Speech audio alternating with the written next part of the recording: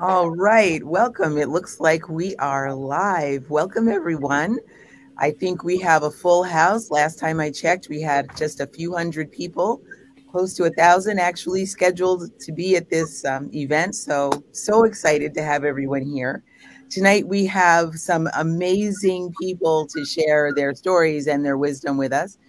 My name is Meryl Fury. I am president and CEO of Plant Based Nutrition Movement, and what an honor it is to be able to introduce our three guests tonight for Own Your Health. This is all about us taking control of our health, being responsible and able and capable, all about it. So you'll get plenty of information about that this evening. Let's start with introducing our guests. We'll start with Chef AJ, and I have to read because these people are just way too impressive for me to be remembering what's going on with them. Chef AJ has been devoted to a plant exclusive diet for over 44 years.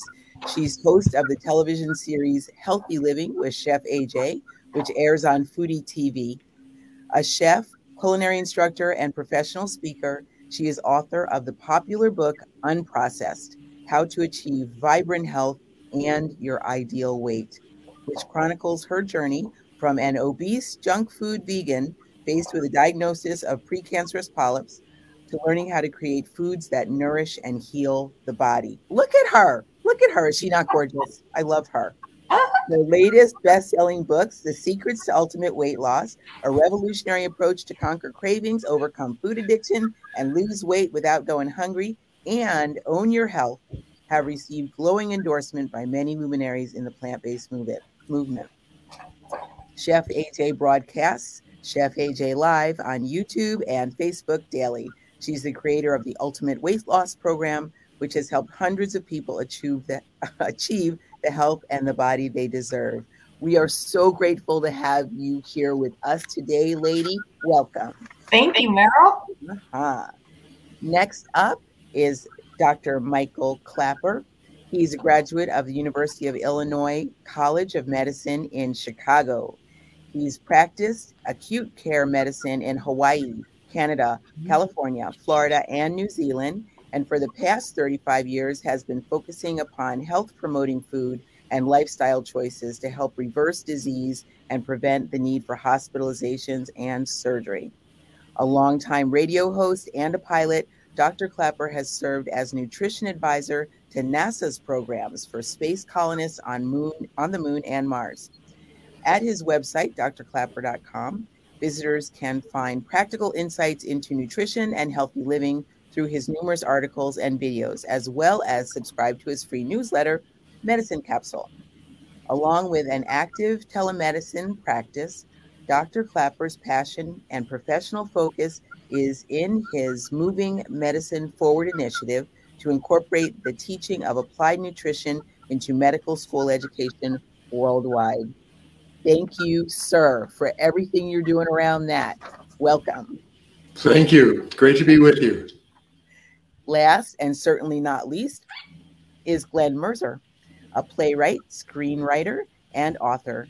He's authored or co authored 11 books with a vegan message. His latest book, Food is Climate, a response to Al Gore, Bill Gates, Paul Hawken, and the conventional narrative on climate change, argues that the only way to reverse climate change is to put an end to animal agriculture. Glenn began his career in book writing as a co author with Howard Lyman of Mad Cowboy. Glenn is also co author of The Secrets to Ultimate Weight Loss and Unprocessed by Chef AJ, as well as other books advocating plant based eating in 20 plant-based eating. Sorry, in 2020, Glenn wrote "Own Your Health," which is where we got the title for this particular program this evening. Um, and Chef AJ contributed over 75 recipes to that book. Prior to focusing on book writing, Glenn was uh, had a clear as sorry, Glenn had a career as a playwright and spent some time as a stand-up comic. You will notice his um, rather sharp wit when we're speaking tonight. He worked mainly in San Francisco. Glenn grew up in Bellmore, New York, and attended New College of Florida in Sarasota. You'll notice that um, we have a ticker running at the bottom.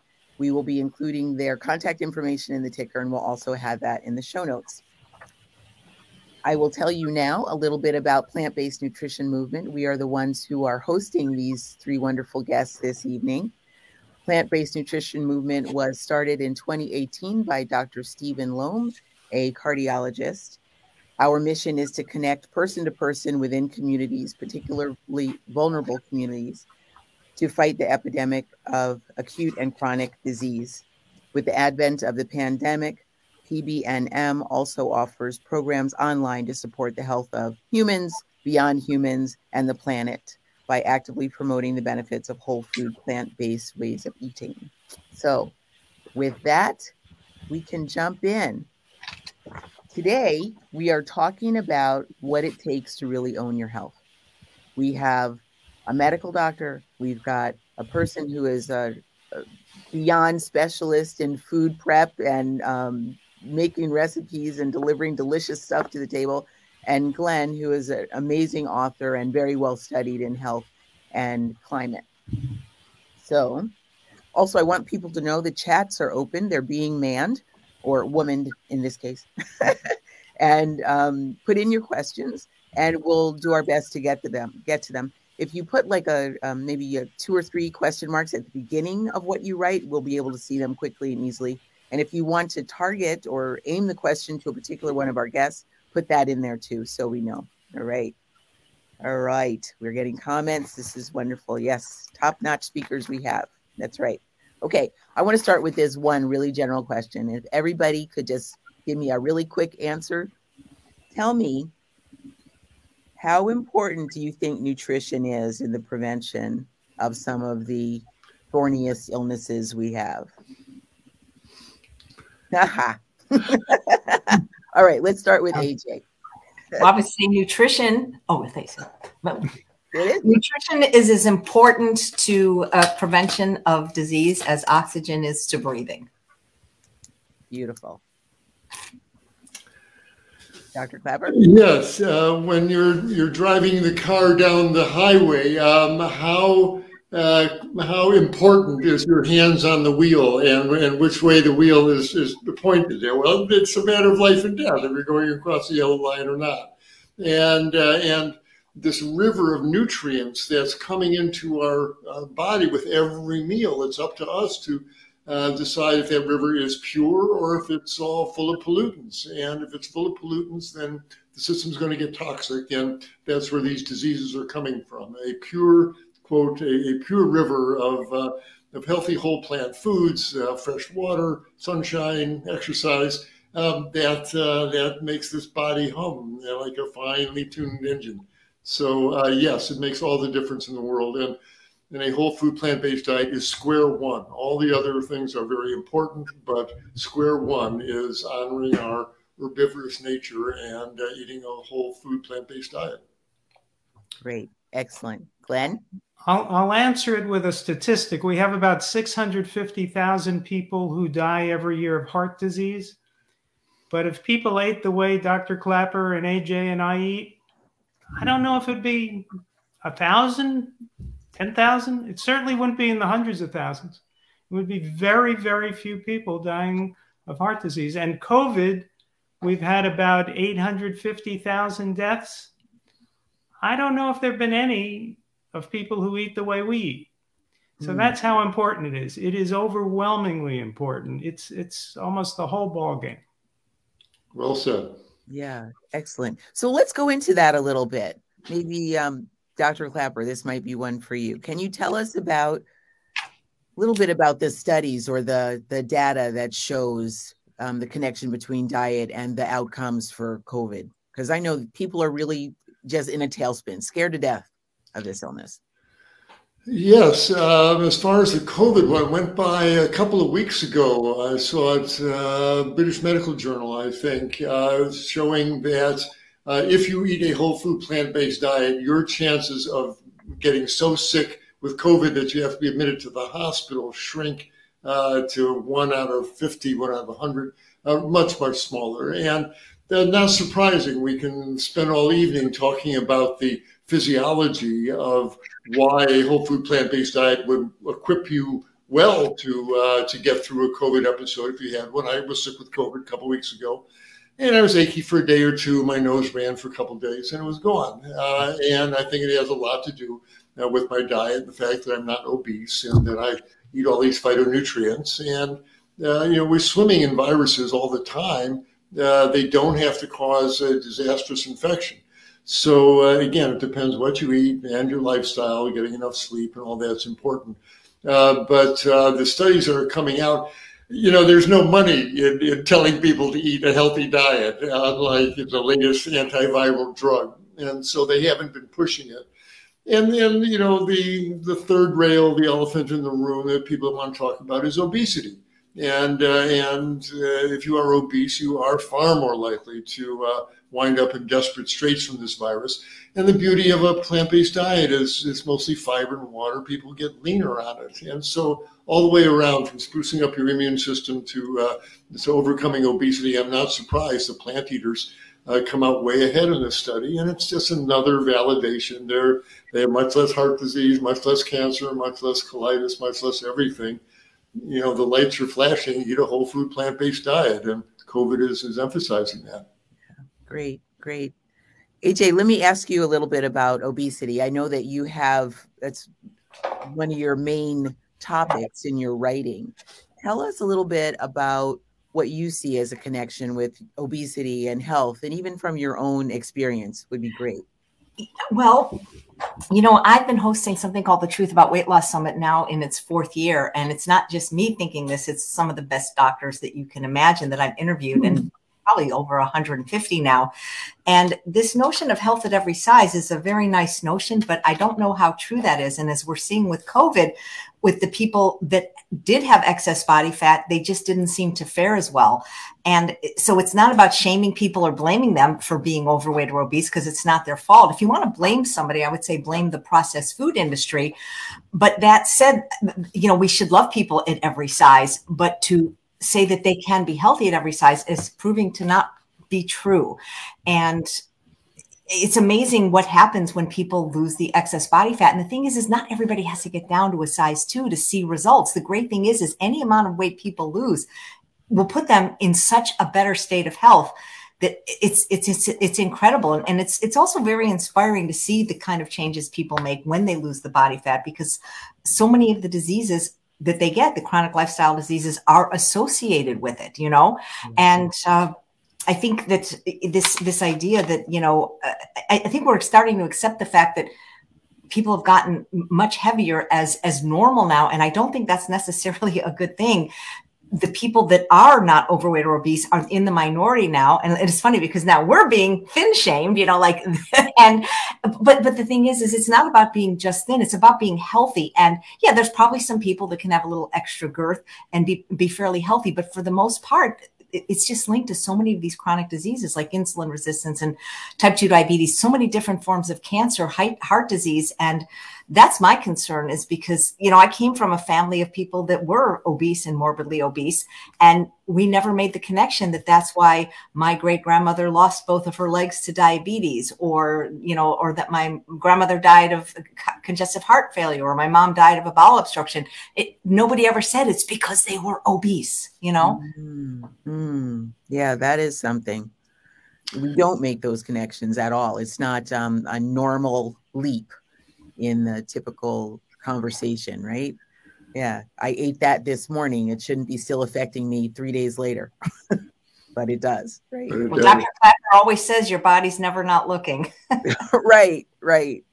Yeah, you don't hide from yourself. exactly. You can't tell your body, look over there and eat a cheeseburger down here. What, what was that? You know, I didn't do anything. Yeah. Who are you kidding? Yeah. And uh, we got to stop kidding ourselves. In fact, I read a report, I think last week, that um, the coronavirus has a real propensity to fat tissue. Uh, it turns out that, that if you've got lots of extra body poundage, you're putting out the welcome mat for the coronavirus. And uh, another reason why you don't want to have a whole, whole lot of body fat uh, hanging around. So, um, uh, again, the red lights are flashing. You know, Yeah. true to our nature. Cancer, cancer also seems to love adipose cells. Sure does. So, you know, fat shaming isn't what any of us are interested in doing. It's just that there's really no such thing as a healthy obese person. Hmm. You know, it, it, the the only way to achieve ultimate health is to be on an optimal diet, which will get you down to your proper weight and and um, it won't be an obese weight. Right, right. Thank you, Glenn. That that's so. I have some family that are uh, in the southern states, and this is a conversation that we have. You know, very challenging when you have a um, a whole the bottom half of the country seems to lean toward high fat, lots of gravy, butter, sugar, more sugar, desserts a lot. Um, yeah, it's a challenge, and particular, particularly difficult um, for African Americans. We're some of the heaviest people in this country, anyway. Not like we, it's not a genetic thing either, you know, but it certainly happens. So thanks for bringing all that up. We're getting a couple questions in the chat. I do want to let people know that yes, we have Dr. Klaper here, but he cannot answer your specific medical concerns. So um, keep the, the questions as general as possible and we'll bring them forward. Uh, somebody wanted to know your thoughts on tofu, Dr. Klaper. Uh, I, I give tofu a thumbs up. Um, there's um, a lot of misinformation. We're in the age of misinformation. I think a lot of it was put out by the animal food industry in the 90s when they saw their sales going down uh, and people are eating more soy products. They put out a tsunami of anti soy propaganda that it's full of estrogens and it'll uh, it's like putting your baby on birth control if you give them soy formula and it gives you man boobs and makes your son gay and all these uh, all this nonsense when the truth is actually the opposite. Uh, and you know, back behind it all is oh, it gives you breast cancer. That's true. Too much estrogen gives you breast cancer. Well, the truth is, when you look around, uh, the countries that consume the most soy products, Japan, and Korea, have the lowest uh, rates of breast cancer. If a woman has a breast cancer and she's eating soy products, it grows more slowly uh, than if she's eating uh, animal products. Uh, and uh, there's just no contraindication uh, to consuming soy products. No one's saying eat two pounds of tofu every day, but if a few times a week you want to cube it up and put it in your in your in your spaghetti sauce or your stir fry, that's absolutely appropriate. So. Uh, so I'm a big fan. If you look on Dr. Greger's site and just go to Google Scholar and just put in soy and breast cancer, you'll find it's actually protective and there's no real severe downside to eating soy products. And I saw a question go by about a woman in perimenopause. Yeah. I recommend uh, soy products for to take advantage of those uh, phytoestrogens in tofu and tempeh and uh, and edamame. If a woman's in perimenopause, she should uh, on a pretty daily basis, once a day, at least every other day, have a good dollop of soy in her in her diet. I think would help her with her uh, menopausal symptoms. Excellent, excellent. We do want to sort of caution people: soy is one of those highly processed GMO type products, right? Um, well, let's uh, thank you for bringing that up. Um, the vast majority, 90% of all the soybeans grown in America and around the world are not bound for tempeh and tofu. This is animal fodder, this is animal feed. And you bet they have genetically modified that uh, those soybeans destined for animal feed uh, in ways that uh, I don't want to contemplate. That is not human food. The tofu you buy at the health food store, where especially if it says organic on it, cannot have GMO soy in it, right. and uh, and it, it isn't. Uh, and uh, uh you know, just leave it there. But but if you uh, with, uh, with the standard um, nowadays, there's lots of companies making it. Even the big companies have gotten in. do they use GMO soy? I don't even think you can make good tofu from it. So as long as you're buying uh, good organic tempeh and tofu, uh, it isn't GMO. So so don't worry about that. Don't be uh, put off by that. All right. We have another question here. Um, let's see if we can get. I want to see what Glenn's answer for this one's going to be. All right. This one is in the case that you get a cold or a flu, or you think you're starting to get sniffles or whatever, what would you say would be the best foods to eat? If you're talking about owning your own health and staying out of a doctor's office, if right. you're if it's not necessary, what I think the alliums, onion, garlic, um, and and the foods with vitamin C, so lemon. So you know, if I feel something coming on, my wife will often prepare something with ginger and lemon, and and dinner will involve garlic and onion, and uh, that seems to do the trick. Nice. How about you, AJ? You know, I think when you're sick, I think you got to really listen to your body. And, you know, there's the whole thing uh, starve a cold, feed a cold, that whole thing. Sometimes the best thing is to not eat. I know that sounds crazy, but, and Dr. Klaper's going like this because he worked for years at True North Health. You know, people are always looking to add something to the diet and add something, you know, add this nutrient and this, this supplement. But sometimes it's best to take things away and and just let the body rest and of course uh, you know have water maybe have some vegetable broth you know maybe some vegetable juice but but i think sometimes just not eating is the best way to get over a, a sickness very quickly mm-hmm. Nice. Beautifully answered aj I, I, absolutely agree. Both these answers are just excellent. Listen to your body. If you're hungry eat but mm-hmm. keep it light. And, and as glenn said the allium family uh, probably have some uh, uh, phytonutrients that will help your immune system. But AJ is absolutely right, and you have to take a tip from the animals. You know, when the animals are sick, uh, they they don't eat. They stop eating. They curl up under a tree for a day or two, just drink water, and they, and they let it pass. And we should probably do, you know, take advantage of that. If you're hungry, by all means eat. But if you're not hungry, listen to your body and just drink water that, and especially if you're running a fever, you want to drink that water because you are losing water uh, in your sweat and in your breath. And if you get dehydrated, then the secretions in your lungs, your mucus gets thicker. Yes. And thick mucus sticks there, and bacteria can grow, and it can turn into official bacterial infection. So drink that fluid and move those lungs. Sit up every half hour, take three, four deep breaths. Um, if weather's nice, go walk around the block uh, and sleep. Uh, get enough sleep. Uh, your body really can marshal its immune forces while we're sleeping. But um, but if you're not hungry, just drink water till you get hungry and keep it light during those days of illness. Yeah, excellent. I will also add. I know there are probably some people on this call um, who are not completely whole food plant based, or maybe they're you know just tapping their toe in the water. They're they're trying to figure out one thing for sure. Now, this is me as a nurse talking. Stay away from dairy products. Please do not. Milk and cheese and yogurt and ice cream um, is very, very difficult when you're trying to fight off uh, an upper respiratory infection. Thickens the mucus, makes it hard to move. All right, we have another question in the chat. Um, how about this one for AJ? How do plant based recipes stack up against vegetarian eating? Well, I think I mean, I think that everything that is plant based is vegetarian, isn't? And everything that's vegetarian is plant based. You know, I'm going to be honest. You said before we started to be honest, yes, and. I, and, and as much as I love Colin Campbell, I hate the word plant based. Okay. Oh. I've never liked it because it doesn't mean anything to me. Because when you say you're plant based, you could be eating 49% of your calories from sugar, from animal products, from meat. I like plant exclusive. You know, I like vegan too, but vegan sometimes has some political connotations, and and and so other people don't like the V word.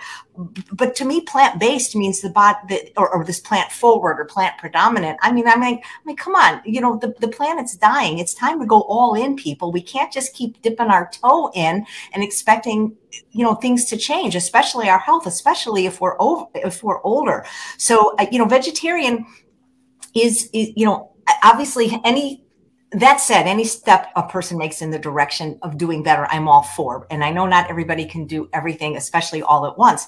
But to me vegetarian there's different kinds of vegetarians. There's lacto ovo you know vegetarians often eat eggs milk or both. And if you love animals you don't eat any parts of them. You don't eat any of their future children or their secretions. And the, the thing is, is many of us became vegan for ethical reasons first. And I think all three of us on this planet, or not, well, not on this planet, on this stream, on this this virtual planet have that ethical piece. And if you really knew what went on behind the scenes, you would never eat eggs, knowing that chickens are the most maligned of all the creatures and, and cows too. And so you know, Dr. Klaper always says milk is to grow a it's, it's baby growth, baby bovine growth fluid. It's to grow a baby calf to 800 pounds in a year. And it's it's if you're doing it for ethical reasons, you're not really being very ethical if you're having milk and eggs. If that's your reason, if you're doing it for health reasons, that's just as deplorable. So I think people have to understand that while being vegetarian is nice because you're excluding other animals from murder, like well, you know, whole cows, pigs, lambs, things like that, you're, you're still torturing and abusing a lot of them. And so it's funny because if I'm working with, it's, I don't want anyone to eat any meat, but if they have to eat meat, I want them to eat as little as possible, as, as, you know, as they can. And so if I was working with somebody that's not vegan or vegetarian, I would, I would start getting rid of dairy first. That would be the first thing I would get rid of, even before the meat. So, um, you know, I really, you know, I, I was asked this on, on, I was being interviewed for, by this doctor today, and he said, well, you know, how would you tell somebody to make the change? And I would say, well, I would tell them to watch Forks Over Knives, Cowspiracy, and Earthlings and if those three movies did nothing for them, they're they're probably never going to get it. So I think I think that should be required viewing for anybody that's considering this because it hits all the notes. It hits the ethical argument, it hits the planetary argument, and it hits the health argument. And so I don't. I, argument's not the right word. Uh, reason that, but yeah, uh, for yeah, other exactly. for other people, it's the argument. The people that yeah. don't believe that that our planet is dying, and so I think that's really important because I think when you just do it for one reason, like for example doing it for your health is wonderful. And i noticed a big upswing in people becoming vegan plant-based whatever you want to call it after forks over knives. But these aren't people that always stayed eating vegan because if they did it for their health then they could get away with having fish a couple times a month because they probably could. Really you know our ancestors ate some meat but when you've got that ethical piece in place as your foundation you're just never going to do it you're never going to do it. And that's to me, I find that the longer a person is vegan, even if they went vegan for the environment or their health, that ethical piece starts to creep in. It's very hard uh, uh to, um, to, to not let it creep in. But, you know, even, even, even old, I don't want to say the names, but even certain people in the movement that we know as old curmudgeons now are becoming more ethical in their hearts after years and years of not eating animals. It just, it just sort of happens to you. So, um, you know, plant-based to me mean anything, and that's why it's it's either you're either vegan or you're not. Right, right. And you started out saying um, all whole food plant, uh, all vegan recipes are vegetarian, but not all vegetarian recipes are vegan, right? Something like that. Yeah. Yeah. Yeah. Great. Yeah. That makes total sense. We have another question from the chat. We'll stick with you, Chef AJ, and maybe go to Glenn. Do you have any suggestions for alternatives to soy for people who can't eat soy? Yeah, me, I'm allergic. So, yes. And I didn't even know this. Somebody had to tell me, but I actually saw it at a nutrition store called Clark's. They have pumpfu and hempfu. So, what they do is they can make tofu out of hemp seeds and pumpkin seeds. So, it looks like tofu, it tastes like mm. tofu, it cooks like tofu. But for those with soy allergies, guess what? You got your own tofu now. It's amazing. Oh, that's excellent. I'm t- I'm not tolerant for soy. I can't take. I will look for those. You said to- palm food. You get them online. Uh, so in pump, P U M P from pumpkin okay. seed, hemp, food, and pumpfu. And it's, it, it, it, I didn't know either. And then when I saw it, I couldn't believe it. So for us soy intolerant, there is an option. I will be looking for those. Wonderful. Excellent. That's great. That's yeah. great. Um, Glenn, do you have any suggestions along those lines? I just want to have some hemp food. really? Yeah. I'm up for some pump food, man. Yeah. Absolutely. Right? My mother used to make great pump food, and I miss it. and, uh, uh, Definitely. Definitely. okay. Anybody who just came in, we're talking to Chef AJ, Dr. Michael Klaper, and Glenn Merzer. My name is Meryl Fury, and we are having a rollicking good time with some nerdy whole food plant based conversations here. Beautiful. Um, Is see. there sesame seafood? I think you should invent that. Definitely, you should invent that. All right. Uh, let's see. Um, we had a question in the chat that came up. What is the relationship between cholesterol levels? Sorry, I'm dropping something here. Um, and fasting. Oh my. Um, well, cholesterol levels, we're talking about uh, background of this particular fat in your blood over time. Uh, when you fast, um, frequently we saw True North, uh, cholesterol levels go up. Uh, people are emptying out their fat cells to burn the fat for energy. But there's cholesterol in that in those fat cells, so that cholesterol comes out of the fat cells into circulation. And if you put a needle in the arm and, and uh, draw some venous blood, you'll see the cholesterol is at 240, 260. It freaks people out. But this mm. is just a transient rise. It's not injuring your arteries. It's not adding to atherosclerosis. This is just the body shifting metabolic gears, getting into the fasting state. And it's it's benign, and it really doesn't matter. As, as I said at the beginning, the cholesterol, you, you know, you want to know what it's doing month after month, year after year. I mean, how long do you fast for? Uh, five days, two, two weeks, whatever. Uh, cholesterol go up, goes down, doesn't do any harm during that time. Uh, so you're in such an anti-inflammatory state uh, on, a, on a water fast. And, and we now know that formation of the atherosclerotic plaques in the arteries is an inflammatory process. That's artery abuse that the owner of the arteries is inflicting on the artery wall there. And, but if you're not doing that during a fast, you're just drinking water, then let your let your liver put out a little extra cholesterol, let your fat cells put out a little extra cholesterol. Uh, it's benign. It clears out of the blood after the fast, so not to worry about it. Great. That's thank you. I think that nailed the person's question. That's excellent. I'm getting a little bit of a reminder from my backstage people um, that we have to acknowledge and thank Chef AJ and Dr. Klaper and Glen for some very generous gifts they've offered.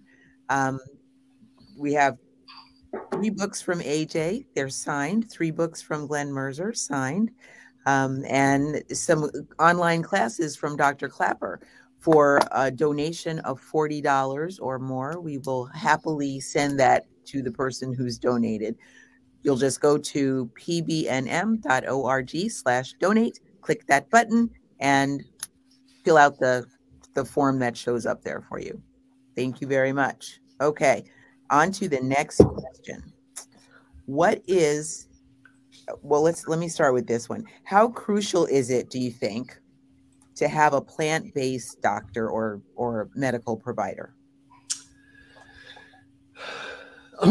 in an ideal world, we would they would all be plant based. It wouldn't be an issue, uh, and that's what we're trying to do in our Moving Medicine Forward uh, initiative is to graduate a whole generation of young, bright, nutritionally aware doctors who always ask, "What are you eating?" and who know the importance of the patient's diet and these diseases. That that should be the norm. We're working to uh, uh, to make that happen, and we'll um, hopefully talk about that a bit later. But until that happy day dawns, where when all physicians are nutritionally aware and awake. Um, uh, what to do. Um, you kind of got to make your own patchwork here. If you uh, if you fall down and break your wrist or you gash your hand open, go to the nearest urgent care uh, center and get sewn up and get your fracture set. And it, and it, doesn't matter if the doctor sewing your hand up is plant based or not. You're just uh, asking them to do a service for you. So for the acute care stuff uh, it doesn't matter. So don't drive yourself crazy or them crazy trying to find it. Are you plant based while they're sewing up your hand? It really doesn't matter. Um, but the longer term issues about your blood pressure, your diabetes, um, especially, well, they're all going to be involved in what you're eating. And you do want a plant based awareness uh, from your healthcare professional. So where do you find that? Uh, lots of places online. Uh, fortunately, uh, the the, the uh, services have risen to meet the need. Uh, and I work for an organization called plantbasedtelehealth.com. And we have a whole stable full of plant based doctors uh, with medical licenses in all 50 states. Uh, and uh, And we will never wag our finger at you for being plant based. We'll cheer you on and we'll help you get off your, your diabetes medication. We'll help you get off your high blood pressure pills because uh, that's the power and the beauty of plant based medicine. So if you need to find a plant based physician, they're around. And if you go to uh, uh, plantbaseddocs.com, you can often find one. But again, plantbasedtelehealth.com will be glad to help you. And uh, so seek and you shall find. So it's getting easier till again, more and more young docs grow out, you know, graduate with that awareness. And of course, plant based is the best way to eat, uh, or plant predominant, plant exclusive, uh, and they and they practice it themselves. You know, those are the ones that we want everybody to have access to. But till that time, um, uh, just go with the standard care till you need to find a plant based doc, and then look around. We're we're available. All right. I, I would I would add that for any metabolic disorder, if you're not going to a to a plant-based doctor, in a sense, you're really going to a doctor who doesn't know what he or she is talking about. You know, I mean, if, if, the cause of your problem is nutrition, and you're going to a doctor who only knows what pills to prescribe for that condition, how are you going to get better? You know, so telehealth is a beautiful thing because really your physical presence isn't so important. What's important is the dialogue with the doctor and understanding nutrition. And so I would recommend for anybody who's dealing with an issue like type 2 diabetes or obesity, set up a telehealth appointment with a plant based physician rather than just going to a conventional doctor in your neighborhood. Well said. Yeah, yeah, perfect. A follow up question to that. So, if majority of doctors are not studied in plant based, right? It's not what what we medical people learn in school. Nurses don't learn it. Doctors don't learn it, right? So, if your doctor isn't plant based and is recommending treatments or medicines or something, um, maybe a bit more aggressive than could be managed by plants and changing a diet what do you do? Um, what's the best approach, you know, to avoid getting into the whole medical treadmill that people can get on? Do you just humor the person? Do you look for somebody new? What would you say to that? Run. Go ahead. run. Run. run run to plant-based telehealth and have a consultation with Dr. Klaper. You know, until you've actually had an appointment with a doctor like Dr. Klaper or any of the lifestyle medicine doctors, whether virtually in person, you you don't you you will have no idea what a difference it is. You know, I didn't really get a lifestyle medicine doctor until recently, and I have never up until then. Have you ever had a doctor ask you what you eat, how much you sleep, right. what your stress is like? If the answer is no, then you got to find another doctor because, you know, um, and if a doctor is asking Chef AJ, what do you eat? That doctor isn't paying attention. well said. you know, I, I, think like Dr. Klaper said, that's fine, you know, for, for, an acute emergency. If you're somebody like my husband, who's like, I don't know, we've been married like almost 30 years. He's, he was sick once, you know, then I think it's fine if you go to whatever doctor you have to go to to get your insurance uh, updated or whatever. But if you've got a disease, you've got to go to a plant based doctor because you will be told that, and it's not the doctor's fault because they didn't learn this, but like even things like, okay, so for example, my cholesterol is really low, which means my good cholesterol is also low and they they actually in in this chart system that we have here in the desert is called my chart and a lot of hospitals use it so that you can communicate easier. So when they put diagnoses like you know like for instance i have hypothyroidism that vegan. Like that to them is a disease. Mm-hmm. vegan is my diagnosis you know because my hdl is going to be low because my total cholesterol is low. And dr klaper has this wonderful dvd where he explains blood tests and he explained how if you don't have any garbage you don't need garbage trucks. And it's not their fault because all they see are people that are sick. And so when they see somebody of normal like my blood pressure is like 88 over 55 and they're like are you okay? Are you okay? Yes i'm fine I'm fine. I exercise a lot. I don't, but like they treat veganism and health as a disease. So I think you you got to get at least on your team a plant-based doctor that you can consult with even if you know i understand you want to have a local doctor but man don't let them treat you yeah yeah definitely agreed I just found a, a, a, doctor here in Wisconsin who is one of those who's asking about sleep and uh, do you take supplements and what kind of diet are you on and how many servings of vegetables do you get a, get a day. It is uh, wow. a very different medical visit. Very, very different. Great. Yeah. Hold on to them. Yeah, that's what I think. right? Okay. Um, of course, uh, insurance can be a challenge with that, you know. But yeah, but if you don't pay the doc, if you don't pay that doctor, you're going to be. I mean, right. people don't until they do it and see the value of it, it. It is really not that expensive in the scheme of things. Right. Right. When you look at, you know, we get often the question about isn't whole food plant based lifestyle way of eating expensive, right?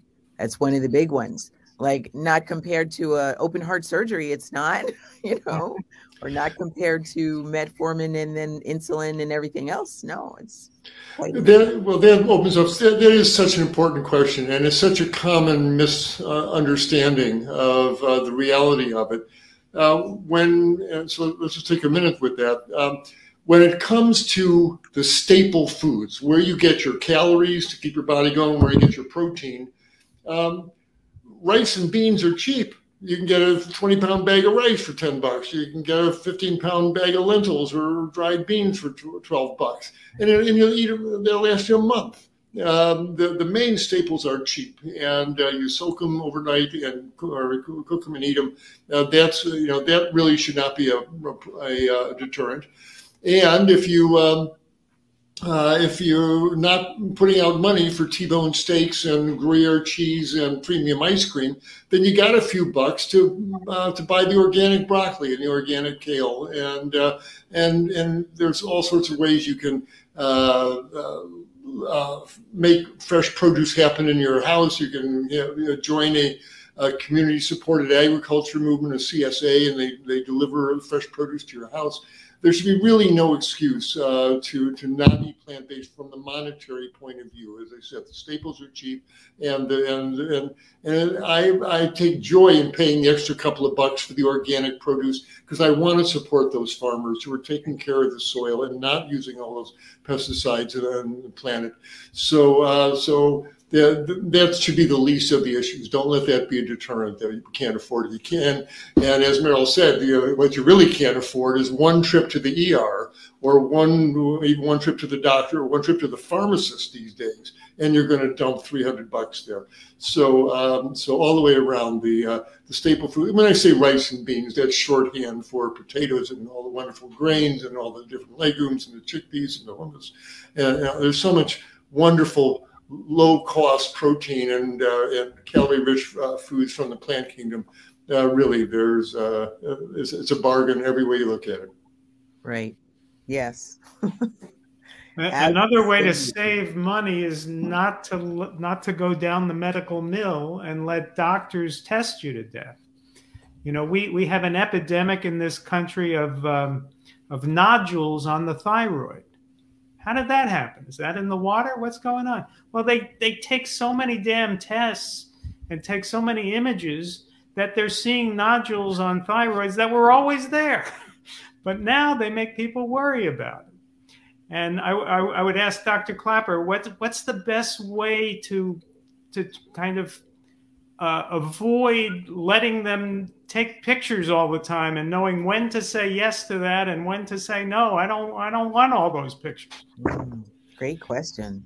Wow. Um, yeah, everybody's different, and in in recognizing the predicament of the physician, you know, every once in a while, one of those lumps is going to be malignant, and you don't want to miss it for the patient's point of view, and welcome to American medicine. You, you don't want to get sued for missing right. a, a, tumor there. And so right. you bet they're going to be much better all the way around. Order the imaging, order the imaging. And it's kind of CYA medicine there, protecting your backside. Uh, and, you know, and so that has a lot to do with it. The litigiousness of our society drives a lot of this imaging. And, uh, but if a but if you don't have a big strong family history of, of cancer anywhere uh, and you've had it imaged once or twice and it's benign, uh, I would not keep getting scans on it. Uh, if, if you've really establish it and your diet is really clean, uh, you know, that's a real issue here. If, if you're eating uh, fried meats and uh, and oily, sugary foods, uh, and there's a strong history of colon cancer in your family, then you're you're playing with fire there, and then you should need to get the colonoscopies, et cetera, et cetera. But if that's not what you're eating, and there isn't a strong family history in your in your family, um, get it checked out once with a scan or a colonoscopy. If it's benign, um, I would just watch it. Uh, if, if, any new lumps show up, get a get a Cologuard or something like that. But I wouldn't have annual colonoscopies uh, for that reason. Okay, great, thank you. That that that is a question. Um, like, how important is it to go back for those recommended? You say like the mammograms, right? Every several years. Yeah. Um, the way I feel about mammograms, the um, it's a powerful technology, um, but I'm not in favor of shooting X-rays through the breasts of 150 million American women every year, you know, looking for lumps and bumps, because you'll find them, like Glen is saying, and then that launches her down the rabbit hole of biopsies and scans and mastectomies and all of that. Um, but if I have an individual woman sitting in front of me in my office with a lump there, uh, it's reasonable. Send over for mammogram, find out what's the nature of that lump, and you know decide what you want to do about it at that time. So it's not that mammography has no value; it has a value for an individual person. But again, you have to, when it comes to screening, especially, uh, I uh, want to know who the woman is sitting in front of me, and uh, do you have any uh, family history of breast cancer? Nope. Um, uh, when's the last time you ate dairy products? Oh, 30 years ago. Uh, and you know, what's your daily diet like? Rice and beans and greens and fruits and veggies. The odds of this woman sprouting out of breast cancer um, are it could fit in a flea's navel. I think it's really tiny. So, um, so I would say get one mammogram just for peace of mind. And if that's clear, man, I would not get another one for you know, either if ever or for you know give it three years, five years. Uh, it depends who the individual person is. Now, she says, you know, my mother, two aunts, and my sister all died of breast cancer at age 40. Well, now that's a different situation. And you gotta you gotta tailor your advice to the individual person sitting there. But uh, if she's on the other side of that, just no family history, a completely plant-based diet, uh, again, the odds of her sprouting out of breast cancer are really tiny. So only minimal surveillance for those folks would be needed. Great. All right. Next question. So we're talking about, um, let me back up. So in nursing, we talk a lot about the patient being a part of the healthcare team, right? Supposed to be patient in the center, and the healthcare team is all around the patient, providing information, support, the diagnostics, everything, right? Is that really the optimal sort of relationship. Is that really what doctors are interested in having with a patient? Is that like a pipe dream? Or how does that how does that how do you see it play out in reality? Well, I want to be a partner with the patient. I, uh, you know, the, the age of, of the paternalistic physician, uh, you need this, my dear, and uh, I'm the doctor, I know best. You know, whew, that's back in the 1950s. You know, uh, it, what does she want? What does he want to happen? What is his understanding of what's happening in their body? What do they want to happen? And what are they willing to do about it? Those are the, the key questions. And at this point, you bet we become on the same team. How can I help them achieve their their goals? And and it might be referring them to a surgeon. I'm a doctor, and that's what they they want me to do. Uh, but it might be very often that they just need a counselor, they need a health coach, uh, they need a, a, a, counsel with a dietitian. And I welcome those professionals on the team. I don't have the time or the skills to do what they do. Uh, so that's not a bad model with the patient in the center, and you pull in these other support folks as needed. But the doctor and the patient uh, do have this intimate nuclear uh, relationship that needs to be honored and nurtured, and uh, it's a precious thing.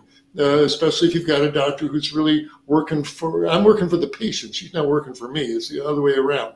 As long as you have that relationship with your with your physician, uh, then you welcome in these other professionals uh, as needed to the healing circle. Right. Right. You know, I would add to that too if you don't have that relationship with your medical team, time to find a new medical. Yes, right? absolutely, yeah. absolutely. The, yeah you're not working for the doctor and find another one uh, life's too short literally especially literally. in this situation but you don't have to put out i'm afraid of my doctor i'm if i can't ask for the then find another doctor you should be at ease with your physician you should, you should be a person you can look right in the eye and say do i have a cancer why did i get lightheaded last week um, do you think my diet's okay you ought to be able to ask those questions and if you're if you're too intimidated then you're in the wrong system find someplace where you feel at home Right. Excellent. Excellent. Glen, I'm going to ask you the next one. So when you're looking for a doctor or you're going for a doctor's appointment, how do you interact with the, the MD? I know you're.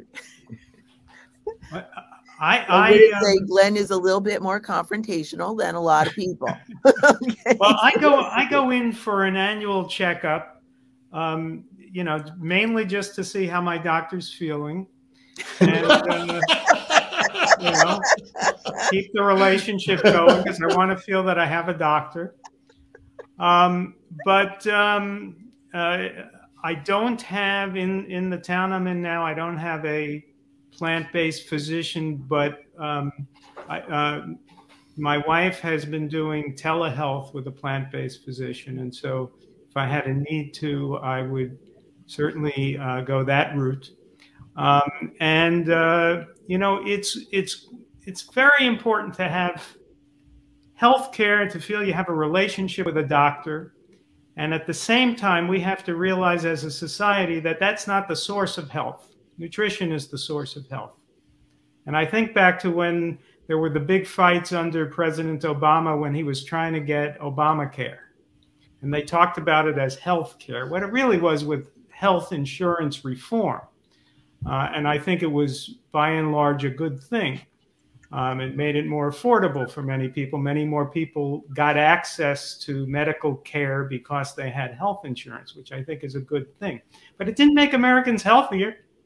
Obesity, when President Obama took over, was 35%, and when he left, it was 39%. Yeah. Just having access to health care isn't going to make you slimmer or healthier or, or uh, you know, more fit that's something you have to do with your own diet. And um, and this this model of relying on doctors to make you healthy by giving you pills uh, doesn't work. Right. True. Uh, you know, and hence our conversation, right? We have to own our health. We have to be responsible for what goes on. As you can have the best doctor in the world, I've seen, I've worked with some amazing physicians, but if the patient is not interested in being responsible or taking um, the recommendations and they just want to go about their business still smoking cigarettes and being a couch potato and eating McDonald's every day, it's uh, not going to change anything. In fact, it's probably just going to get worse, right? Right. Yeah. You can you can lead a horse to tofu, but can't make him eat it there. yeah. Right. And I, I make a point in Own Your Health that I'd like to make here, which is that people think of nutrition as controversial. You know, they hear the uh, the paleo diet versus the vegan diet, and they think there's some sort of controversy. The controversy is contrived. All the science is on one side. It's it's at, and it's the same thing with the climate is, is there a real controversy on whether the planet is warming? There isn't a controversy between scientists. And there isn't a controversy between scientists on nutrition, really. All there, there, for example, Dr. Esselstyn did his study in which he took heart patients who were really uh, on their last legs, as it were. You know, they, they had serious heart conditions and had already had many heart attacks um, and he put them in a study with the Cleveland Clinic, he put them on a low fat, plant exclusive diet. Uh, and he didn't even make any conditions about exercise. It was just a low fat, plant exclusive diet.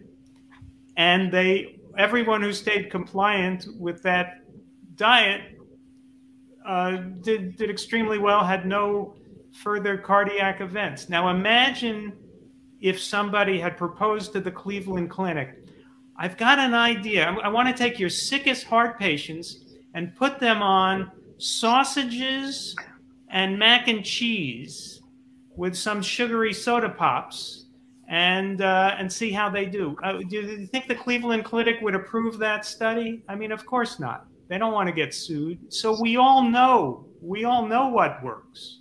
There's no real controversy.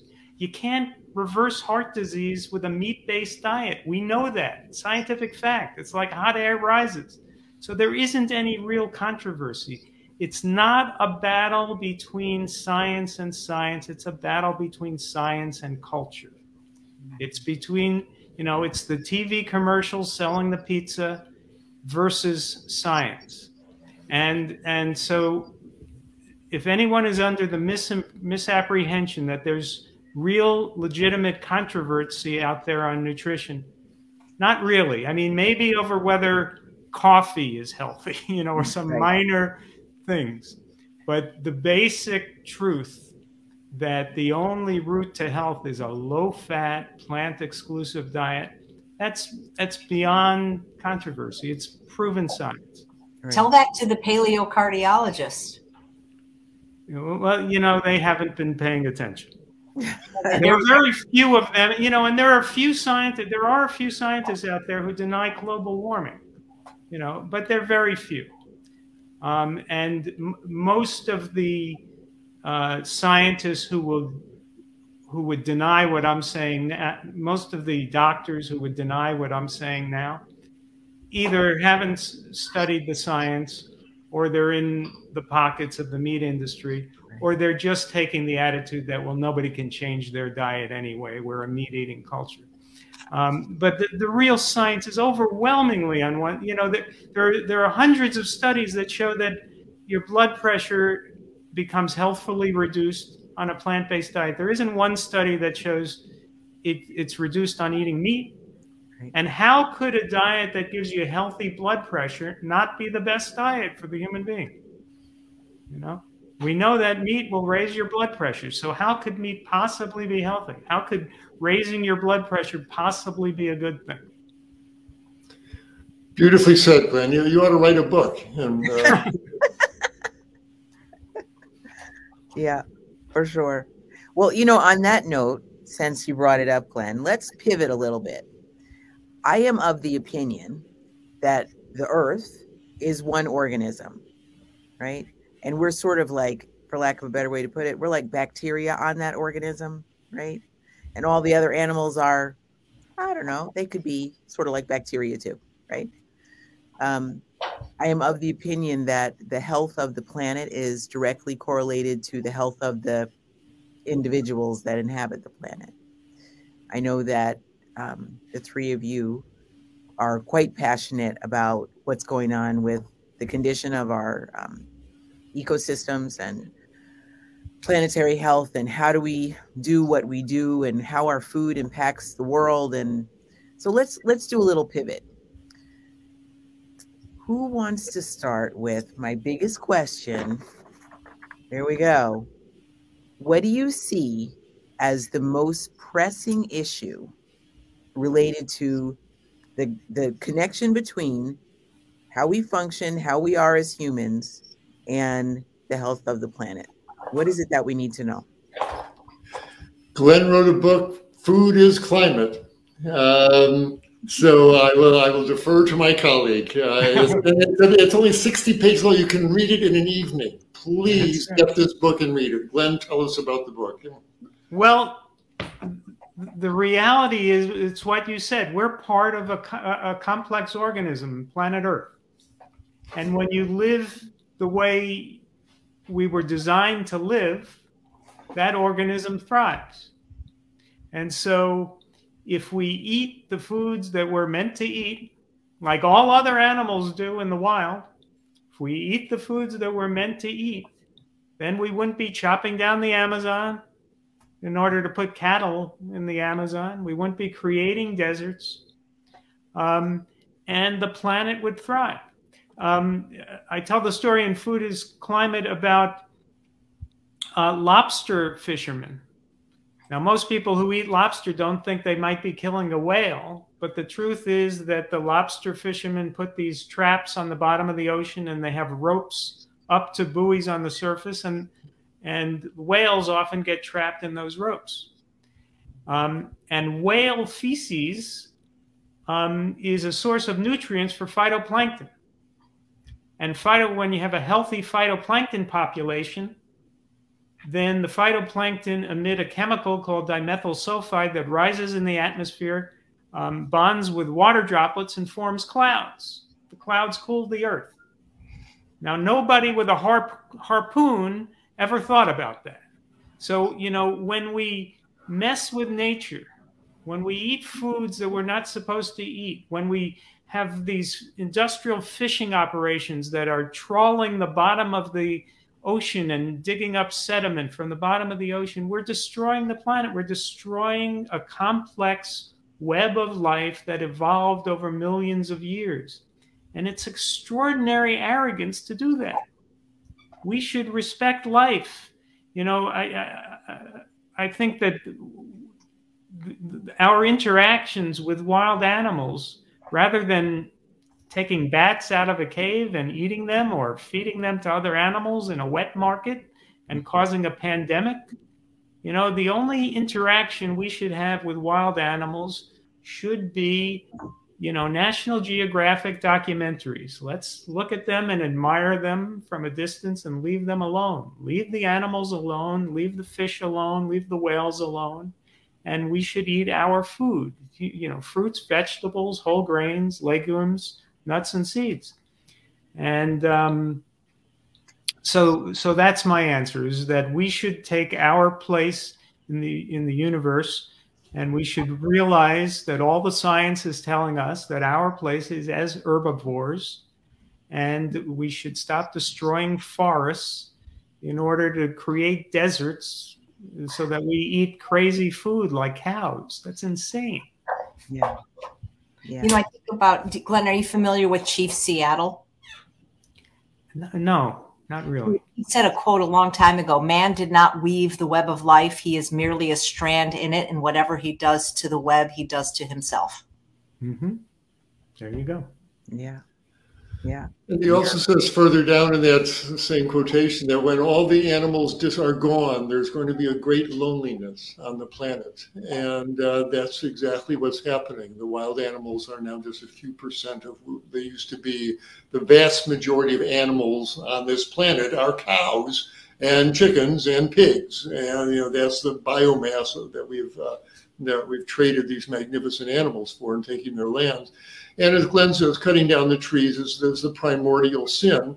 Yeah, I, I can do nothing but shake my head and roll my eyes when I see these guys putting billions and billions of dollars into this carbon capture uh, machinery that will suck carbon dioxide out of the air when mother nature has come up with by far the best most efficient uh, carbon capture mechanism ever designed they're called trees and they take carbon dioxide out of the air and turn it into solid wood uh, and nourish the soil while they're doing it. And more CO2 goes in the soil. Uh, and that's really the key is to um, give back the land that we've taken for animal agriculture, let the forests come back. Uh, and we will need so much less land to feed ourselves on a plant-based diet that the earth will heal, and, and we'll see it. The waters will run pure. This, the again, the soils will stabilize. The, the temperature will start coming down. Uh, uh, the uh, on every level, the, the earth will heal and will heal. We'll be healthier people uh, who don't need to go from operating table to ICU, uh, and there'll be money left uh, if you're not paying down the black hole of of, uh, of healthcare. There'll be money to send kids to college and put internet in everybody's house and fix the roads and all of that on every level. And no matter how you look at it, the lights are flashing people, you want to be healthy uh, individually, adopt a plant exclusive diet. Homo sapiens, you want to survive on this planet as a species, adopt a plant exclusive diet. You know, the, no matter how you look at it, the message is loud and clear. Uh, but the folks making money, and I don't want to hear that. No, no, no, I can't hear you. Uh, mm-hmm.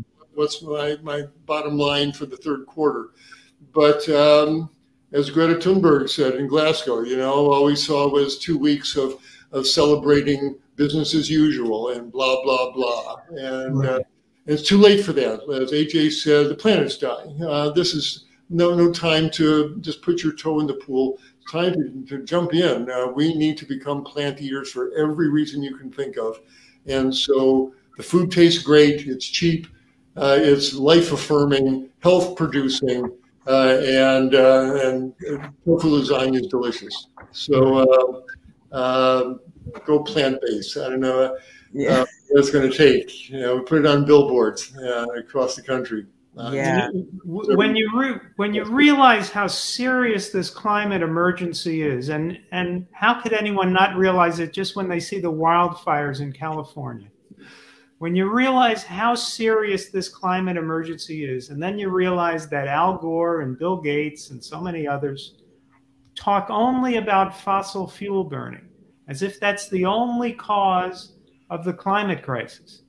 Now, I, you know, I'm not going to hold any water or any oil for the fossil fuel industry, but clearly, this is not going to be the way we solve the crisis by focusing only on fossil fuels. We've been trying to do that for 30 years, and we're burning more fossil fuels now than we were 30 years ago. And even if next week, somehow miraculously, we're flying on solar airplanes and nobody is heating their homes with any fossil fuels or cooking with fossil fuels, and everybody's driving an electric car and all the electricity is generated with solar panels. Even then, the planet will keep heating up. Why? Because we're chopping down forests for to put cows on it. We're degrading the soil. We're using nitrogen fertilizer. The methane from the cows is, is 120 times as powerful as carbon dioxide. Um, so we'll be continuing to heat the planet with our animal agriculture, even if we got to a, a zero fossil fuel world. But now let's go with the opposite fantasy. What if tomorrow we all went vegan, which is within our power? The other thing isn't within our power, inventing the solar airplanes. But if tomorrow we all went vegan and we and we freed up the grazing land and let the trees come back and the forests come back. And we left the oceans alone. We stopped the industrial fishing and let the phytoplankton bloom and the sea forests bloom. We would draw down enough carbon dioxide to get us back to pre industrial levels. So it's the only way to solve the problem. You, in a sense, you have to go on the offense. When, you, when you're talking about fossil fuels, you're just on defense. You're just saying, well, let's reduce how much we're hurting the planet. No, let's help the planet by planting trees and letting them plant themselves and draw down the carbon dioxide and protect the oceans so the oceans can be a healthier carbon sink. And we go on the offense in a sense. We we we draw down carbon dioxide. It's the only thing that could work. Yeah. I back in October, um, the uh, I think it was the British government published a paper online and I have just the, the face sheet of it here. It was called Net Zero Principles for Successful Behavior Change Initiatives. It was only online for about three hours, and it had to do with what did they think, and actually it was a research paper commissioned by the British government. What did this research organization think people should do if they really wanted to get to net zero by 2030 or maybe 2050, right? the paper was pulled down after about three hours because the British government said they didn't want to tell people what to do, right? But there were two things. I mean, that's crazy by itself, right? but there were two things in the paper that they recommended. One was decrease your air travel. That was one. The other one was have every person decrease their, and they only spoke about ruminants right? Sheep and maybe deer and cows, you know, the four leggeds, right? Mm-hmm. Decrease ruminant consumption by 35%. That's what they say would make a difference. Uh, if well, we could get yeah. everybody to decrease by like at least 50, let's go even further. A hundred. A hundred. Yeah, You're asking a lot. You're asking a total, you know but people are stubborn and people cling to pork chops like I have never seen people cling to things. you know, it's people to reduce to fifty percent. It would be Ma- Meryl. It's it's way too late for Meatless Monday. Yes, it is. Um, we need to ask people to eat like human beings, eat human food all the time, not meatless Monday. You know, if if if I if I was trying to solve a, a problem of, of of crime in the public, would, would, how would this be for a program? Don't shoot anybody on Tuesday. You know, you have to. It has to be a seven day a week program. And seven days a week means no more animal products in the diet. That's the way we defeat animal agriculture. Is we all need to accept that if it's unhealthy, it's unhealthy on Tuesday as well as Monday. It's unhealthy after 6 p.m. as well as before 6 p.m. Just cut it out. It's not hard to do. It's the easiest thing I ever did in my life. You just stop eating foods that aren't human food. And, and the only side effect is good health. So I don't think I, I, I don't you know I, I know some people are gradualists and they say well I'll cut down a little at a time and I'm I'm a little skeptical of that because I think once you let yourself have meat on Tuesday and Wednesday and Thursday, pretty soon you'll be having it on Monday again. Um, I really think people need to see the light and just if they have meat and, and animal products in their house, get it out of the house I won't even say give it to a, a food bank because really, why do you want to hurt right. poor people?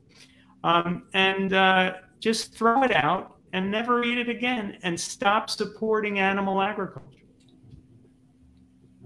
Right. So we do have a little challenge though, because we have people who live in food deserts where they can't get food like that. What do you say yeah. to that question?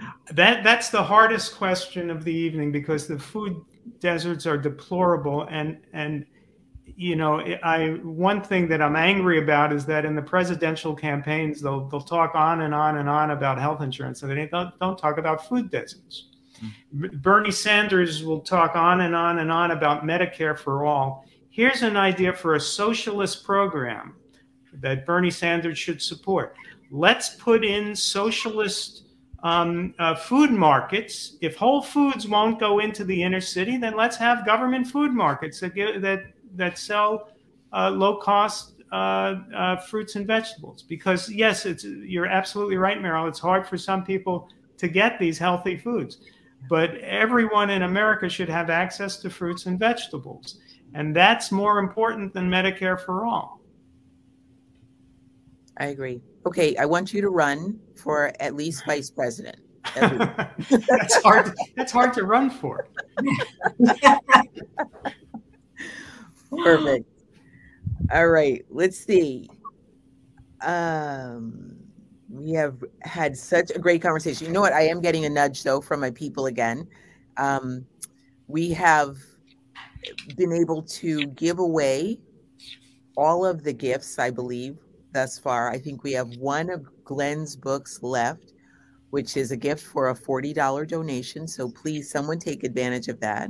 And if you are donating anything above $5, we're also giving gifts of masks, which say um, Eat Plants, Save the World on them. So please um, donate.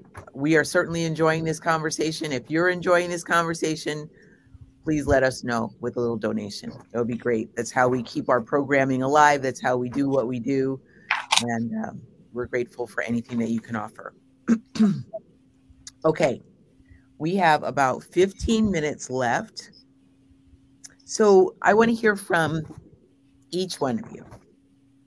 What do you see as some positives that are occurring right now around planetary health, around maybe education of people who might not otherwise be aware that there's a problem or might be, you know, prefer to keep the blinders on that there's a problem. What kind of positives are you seeing? Well, I see positives every time I go in the supermarket. Uh, as a fellow who entered the natural health food movement back in the 1970s, uh, going to health food store was pretty bleak and uh, uh, you got soy milk and has a, a, box of powder that you added into cold water there and made your own. Uh, and now you look, and there's vegan everything, vegan cheeses and meats and ice creams and yogurts. And no one's saying that they are the epitome of healthy food. They, yes, they are processed, etc. But they, no animals are killed. The, there's so much easier on the earth. They don't have cholesterol. They don't have pesticides. Uh, on every level, they are they're great, at least transition foods. I'm not saying to be eating them every day. They're treat foods for, for vegans. Have it once a month, if that. But but for Joe, meat eating six pack guy, uh, if, if he could bite into one of these juicy burgers and oh, I could eat that vegan food. I could eat that. Yay! You've changed his life and and so it's becoming so much more acceptable. There's now, I just see an Israeli company came out with a plant-based salmon that looks like a salmon cutlet. It's really remarkable. It's eerie, um, and with all, all the same amount of protein and omega threes and all of that. Um, leave it to the Israelis to engineer something like that. Uh, but it's great. So the fact these products are are available not only is that helping individuals, but it's a statement of how much more open society is to making this plant-based transition. It's like turning an ocean liner, but this is one sign that it is starting to turn. Uh, the media is a lot more open and friendly uh, to the idea of plant-based, etc. There's still a lot of antagonism, a lot of craziness in podcast land. But by and large, the references to plant-based everything is viewed more favorably on TV. They don't make fun of it so much anymore, and um, and the there's now organizations like the AFA, the Agricultural Fairness Alliance, that you should look up. Um, they are helping farmers and ranchers transition to do something else with their land besides run cattle on it. You can grow fruit trees, grow broccoli, grow hemp, uh, do, do something else and, and, help these people make this transition. Uh, support them, pay their mortgage, send their kids to college, help them while they make this transition. And so the, the wheels are starting to happen. And and then always what gives me hope are young people in the internet. You know, now uh, there you can you can change people's concepts uh, very very quickly and their understandings. And and the images are getting so frightening and tragic as the ice caps are melting and the fires are burning. Uh, and the kids, uh, they know, and there's nothing, you know, there's no hiding from them. Uh, you know, they know something bad is happening, and uh, and the, the vegan message is reaching them. So I've got a little flicker of hope here. We are in desperate straits, and uh, pessimistic about man's uh, general ability to change, but um, but it's the door's not closed, and uh, the, the the technology's there, uh, the the willingness among the younger generation is there, and so I'm, I'm going to keep working until my last day on this planet to to help those wheels turn and and get this plant-based transition going. So uh, there, yes, there's reason for hope. And so do what you can in your neighborhoods. Uh, give do a potluck, send hand out leaflets, do something to make plant-based nutrition more acceptable uh, on, on every level in your world. Yeah, beautiful. Just before we go on to the next person, tell us what's going on with your moving medicine forward. What is that positive there? Thank you. Um, as a longtime practicing physician, I realize that it's my colleagues are the major bottleneck about why this transition is happening. We go through four years of med school, pack uh, your head full of uh, basic sciences and surgery, and nobody's saying it's the food your patients are eating. That's why they're sitting in front of you, doctor, overweight, hypertensive, diabetic, clogged up, and inflamed from what they're running through their system every four hours but ooh, it's cultural. Can't talk about that. Yes, doctor, talk about it. And our uh, goal is to create a generation of nutritionally aware young physicians who, who are open to the plant-based uh, uh, concept uh, and, and participate in this powerful process of seeing diseases go away. So the disease reversal through plant-based nutrition. High blood pressure comes down, diabetes gets better, can stop their medication. What an exciting way to practice medicine. So I want to put that in the young docs' heads. We're giving lectures at medical schools across the continent, uh, and we're we're hiring someone to work full time to try to start getting plant-based nutrition into the national board exams and into the medical school curricula.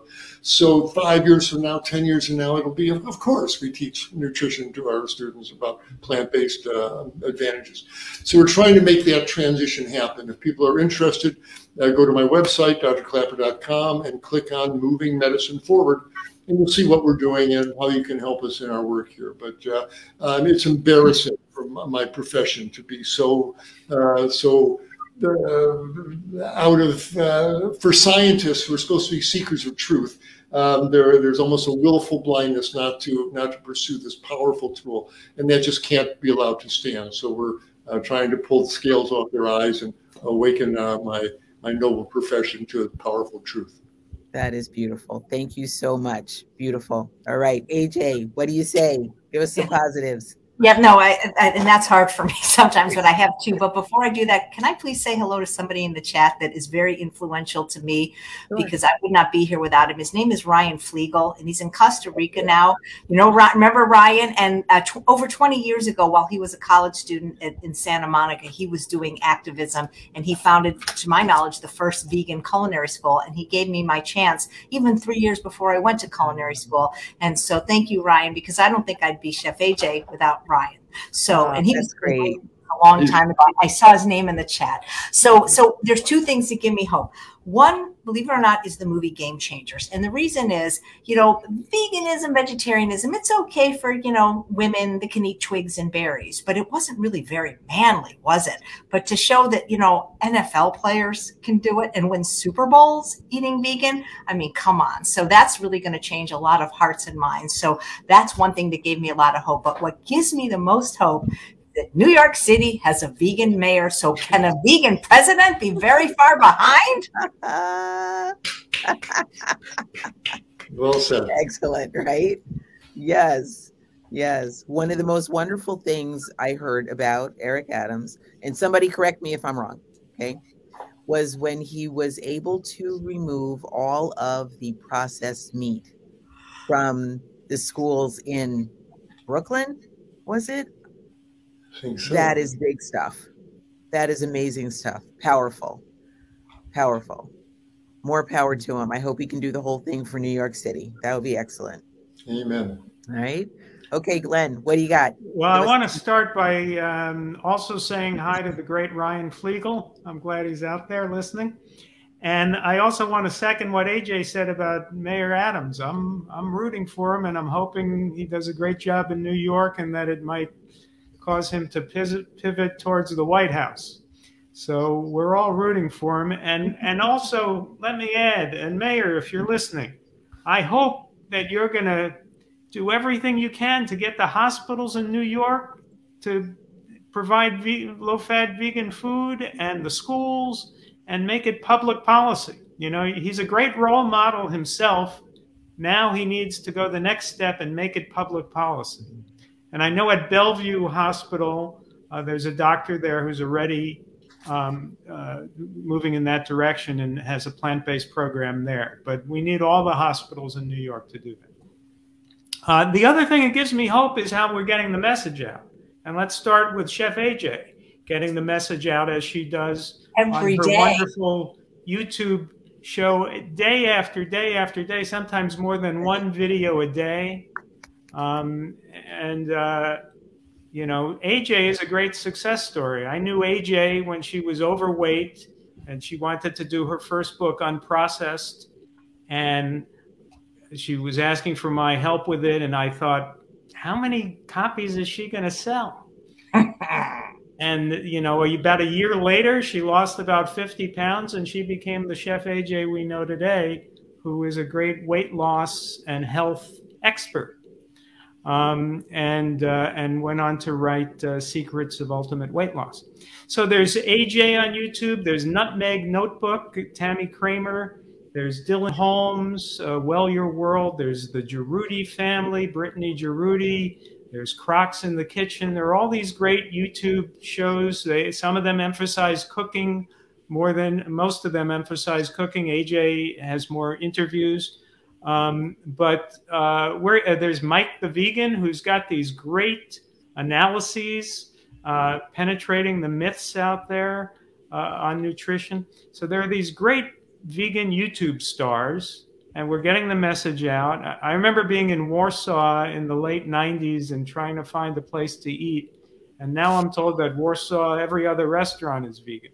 Hmm. Um, so, um, you know, the, the message is spreading, but it's like three dimensional chess. So we're, we're getting the message out, but at the same time, there's a carnivore born every day and um, and there's a climate crisis that that has a ticking clock, and so it's a it's a real struggle to get the message out fast enough and to convert people to health fast enough that we can save the planet and and save our health and not have any more pandemics. I mean that's something you know there's never been a zucchini pandemic in world history. It doesn't happen. It's all, almost always zoonotic. It comes from an animal. Yeah. And if, if we left the animals alone, we didn't have 30,000 chickens in a, in a warehouse, they call that farming. I don't understand why that's farming. They stuff 30,000 chickens in a warehouse. And then the next thing we're going to have will be the bird flu, you know, and it could be more deadly than COVID. So we have to stop it and, and think of COVID as a warning to stop animal agriculture before the next worst pandemic. Yeah, excellent. Really well said, you guys. I applaud you all. beautiful, beautiful. Okay, we have just about five minutes left. One last question. Now, we looked at like the positives just now.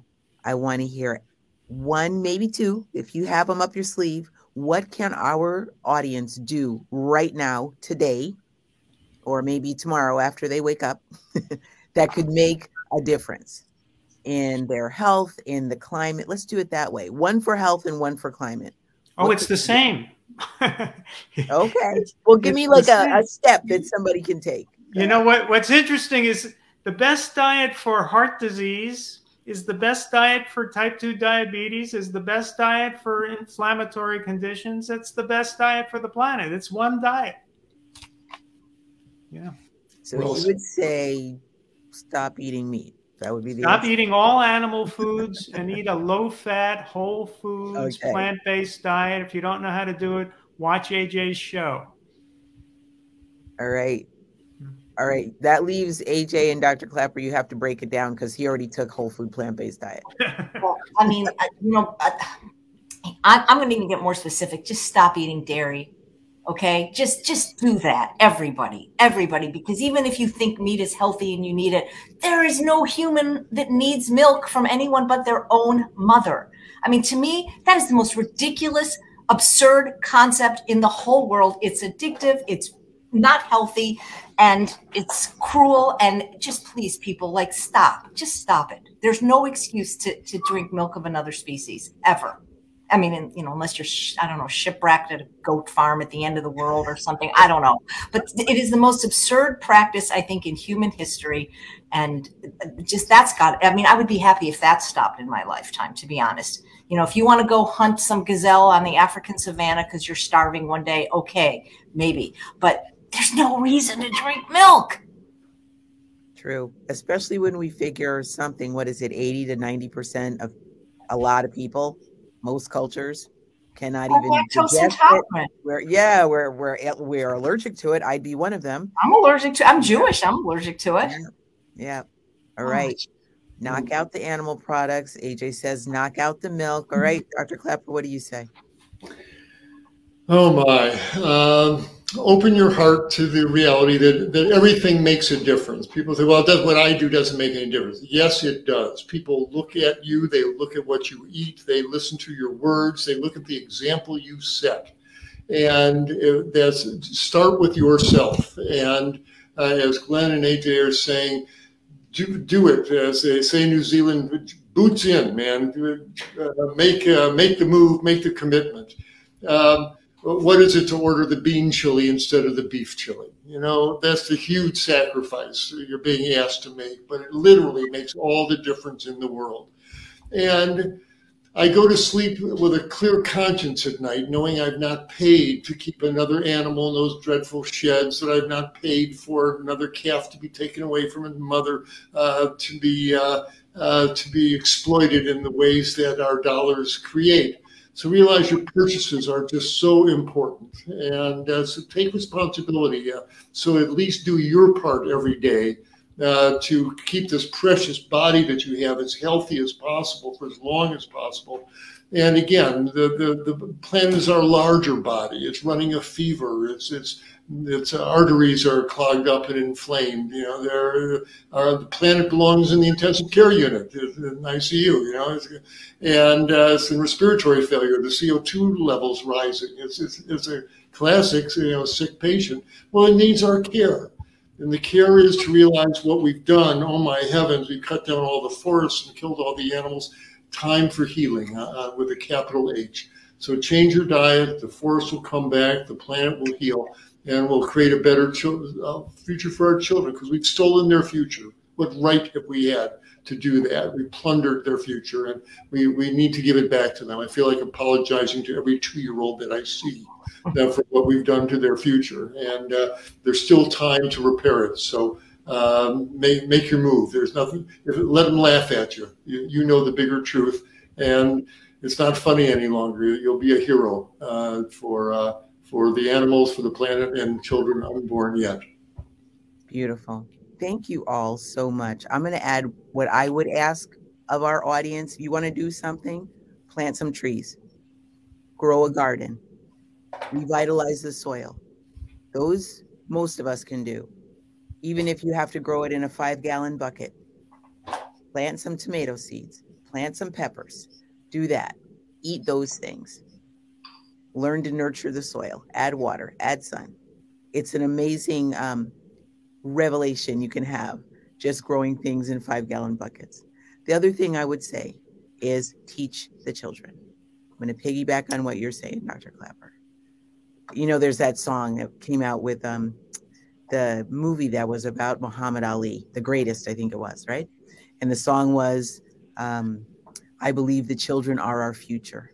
Teach them well and let them lead the way. No, our children are our present. It's right now. It's right now. We need to teach the kids. And while we're teaching them, we're learning, we're modeling, we're doing what we need to do, right? planting seeds, growing trees, eating well, saving the planet. That's what we got to do. That's I'm off my soapbox. All right, you three, we are done. It's already eight o'clock. I can't believe it. This has been a rollicking, rocking conversation. Thank you so much for your authenticity and your, you know, just straight talk. I so appreciate it. I know our viewers have had a great time. We've been getting all kinds of amazing comments in the chat all of the gifts went. Um, beautiful. Thank you so much, all of you. You're, Thank you, Meryl. Thank you. Big piece of my heart. Big piece of my heart. All right. Beautiful. We'll talk to you again soon. Yes, next time. Good night, everybody. This has been a wonderful event for me and for everyone. Thank you so much. Have a good night. Good night. Bye bye.